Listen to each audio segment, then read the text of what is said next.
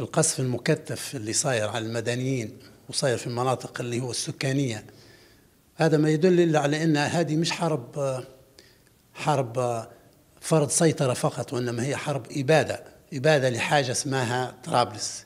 لمن في طرابلس؟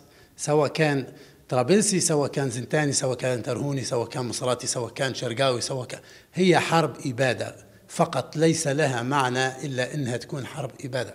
طبعا القصف هذا بتاع البارح هذايا شيء مريب ومرعب لكل العائلات. آه، آه، يعتبر هو الإرهاب آه، ارهب الصغار والكبار وفي كل المناطق.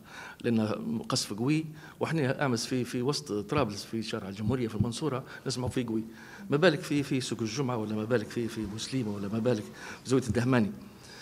ناس ماتت مدنية منشآت مدنية دمرت مستشفيات دمرت قاعد يعني مستمر والتواتر في تزايد. آه، اللي صاير في طرابلس اليوم آه، فعلا العدو نسموه بجلال العدو آه، نزع جميع الأخلاقيات وجميع المحرمات. الموضوع خطير أنا بقول لأهلي في طرابلس ولكل الليبيين العالم كله أن مدينة بعدد سكانها 3 مليون قاعد تقصف تحت القصف. اذا قواعد الاشتباك بدت مفتوحة بالنسبة لنا.